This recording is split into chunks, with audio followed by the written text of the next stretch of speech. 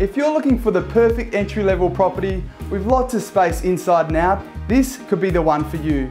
I'm Josh from Team Leader and along with Lisa, we look forward to seeing you at the next home open.